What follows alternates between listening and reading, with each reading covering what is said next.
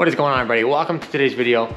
So if you watched last video, it really doesn't have anything to do with this video, but I did mention uh, at the end that we're gonna be working on the Miata. So that's what we're doing today. What we're gonna be doing, basically putting an eBay exhaust on an NB that is designed for an NA. There's a, not a ton of info on the internet about this, but you would say like, why are you doing this? What's the reason for doing this? Well, an NA exhaust on eBay is like, I can't remember the exact numbers, but it's like a couple hundred bucks. And an NB exhaust is like seven, 800 bucks instead of like 200 bucks. So there is a pretty good savings there. And this is what you get when you order the NA kit. The muffler and kind of like tailpipe and then this midsection. It's been a while since I was under the car mocking it up and looking at it, but I'm pretty sure the header and downpipe section on the NB, it's like a lot shorter than what the NA is. Even though the car is the same size and length, the exhaust is completely different and doesn't fit. So I've already started cutting off hangers because none of the hangers are in the right spot or anything either. We're gonna go underneath there, start setting it up, kind of mocking it up. I think that's a good spot to start uh, so we know it's gonna fit here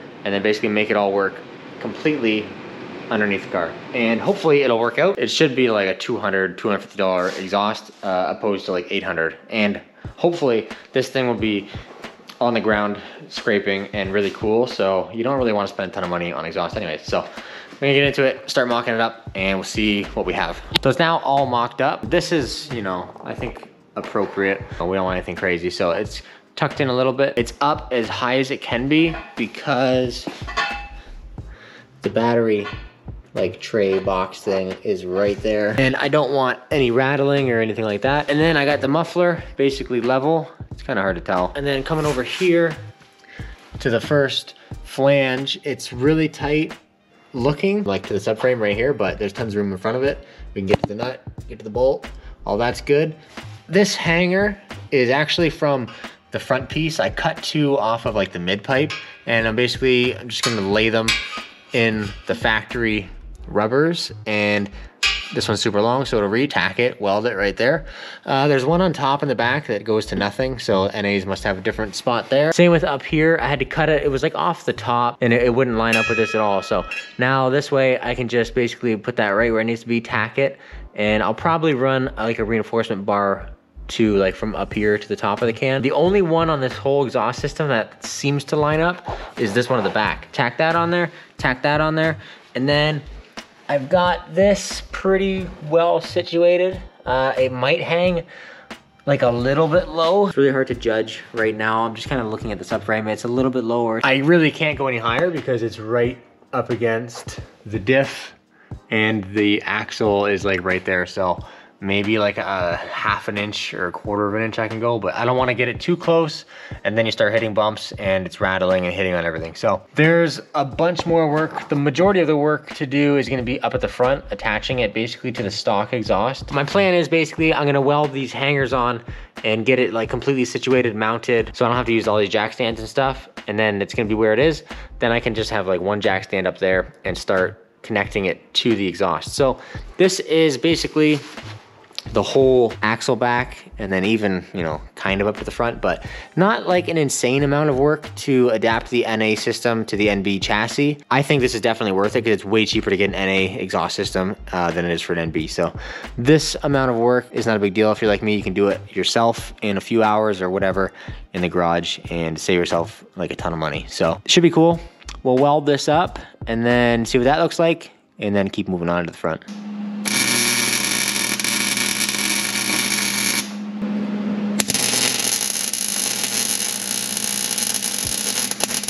So now we're up here, and like I said, this is what is left of the exhaust on the car. Obviously, it's in terrible shape, but it's not like completely rotted, although like the flange is. So as I said, we're gonna replace that flange and cut it back a little bit. But the main issue, now that we have all that done, is this comes off at a super weird angle. And it's like up and over, and when you go to put like a pipe to it, and sit it flush, like flat on the flange, it's way up over here. And I, I don't know, like, I don't know, something with the NA must be completely different. So I basically just marked it at a point where I think the angle should stop and basically slice this off flat here. And then we can just continue um, a straight pipe basically to this. And then we'll have to figure out where to cut this off um, because this is also on a weird angle out. So basically I'm hoping I can just eliminate kind of the majority of this angle and this angle and honestly just put like a straight pipe from here to here in there. I have no idea how loud this is gonna be because like there is some sort of resonator thing and there's also that bigger muffler and then there's still also like the big can on the end. So i'm hoping it's not going to be insanely loud and raspy and terrible because then we'll end up coming back in here cutting this off again and putting like a, another muffler or like a cat. I guess there's no cat. I just realized that should be where the cat goes. Anyways this is the rough idea. We're just going to basically connect this to that and make the angles work so it's something in between here. Whether that is pipe that we bought or possibly the cat i'm not entirely sure. We'll see what happens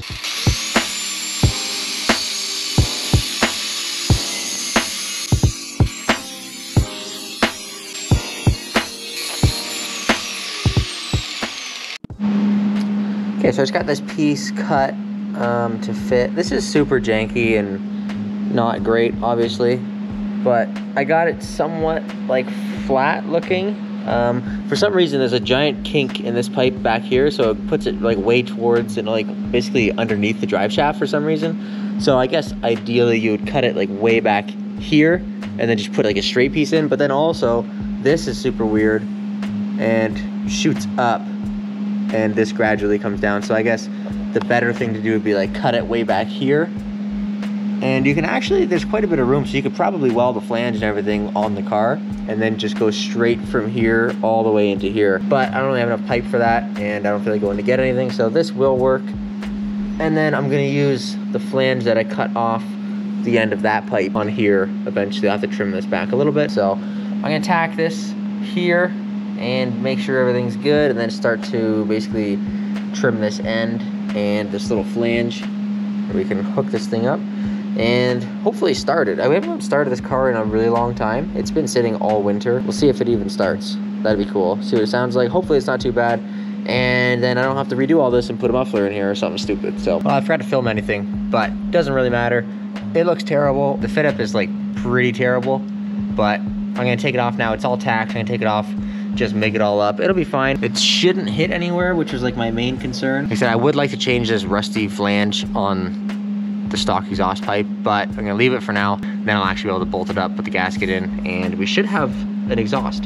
So I'm gonna get this all welded up, get it back on the car, and I don't know, we'll see what, we'll see how it goes.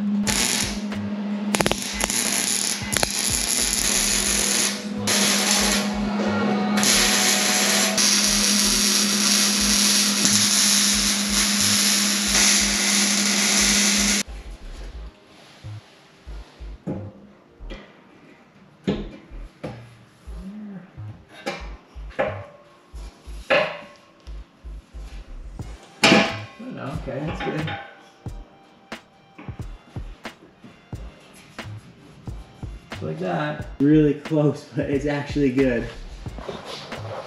See here is what I was worried about, but tons of room in there.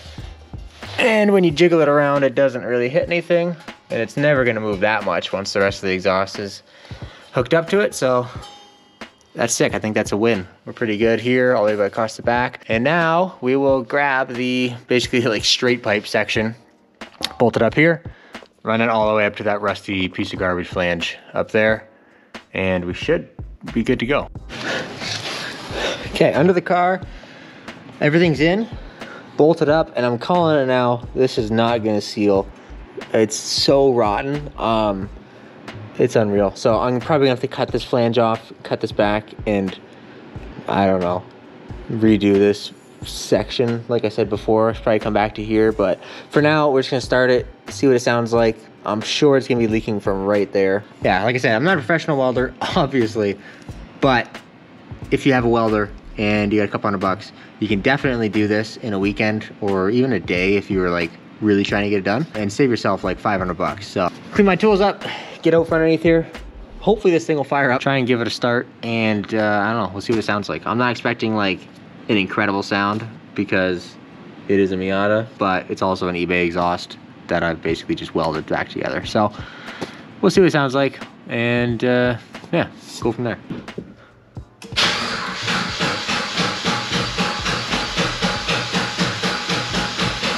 Battery's pretty dead.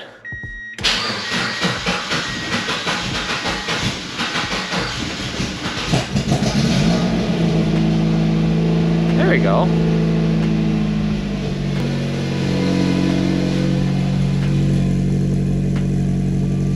It doesn't sound terrible. It's kind of loud. Okay, that sounds awful. That's, that sounds terrible. Okay, I wonder if I put the silencer in, if that'll make a difference. if this doesn't help, I'm gonna have to redo it and put a muffler in there because that's atrocious.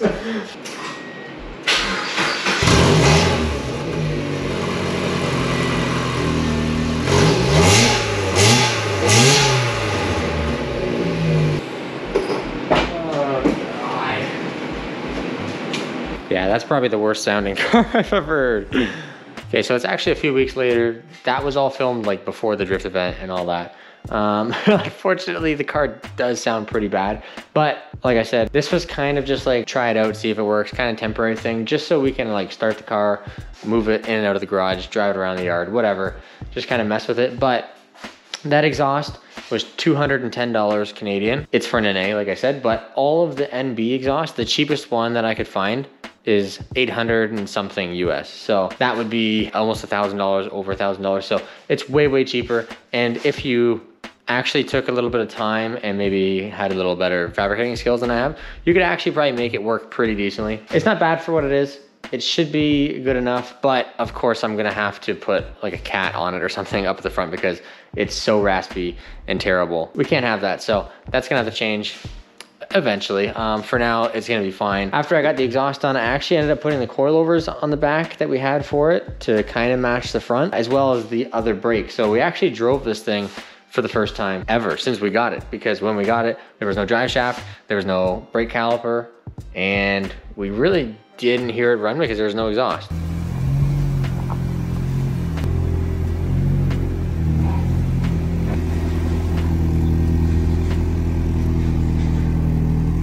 So we made some pretty good progress on the Miata actually, and uh, that's pretty cool. One thing that I want to make sure was kind of clear with this car, it's not my car, it's my girlfriend's car, number one. Number two, yes, it is in really, really rough shape, uh, lots of rust, and we're gonna have probably a ton of videos and a ton of work to do to this car, but it's all like pretty common stuff with these cars. So if you have one, it might be cool to like follow along and see what you're up against, see how to do it and stuff like that. But my main point is, yeah, you can go out and buy a nice NB, but they're super expensive and they'll probably have, you know, a decent amount of kilometers. This car only has 95,000 kilometers. So I don't know what that is like 50, 60,000 miles, something like that. So super low. It's a lot of work, but we paid less than half of what a good condition with more kilometers NB would be. So that's why we're doing this. And it makes sense in my head. And hopefully by the end of the build, it'll be a decent car and we'll have actually something, you know, worth looking at. So that's pretty much it for the Miata. I'm not exactly sure what we're gonna be doing to that thing next, but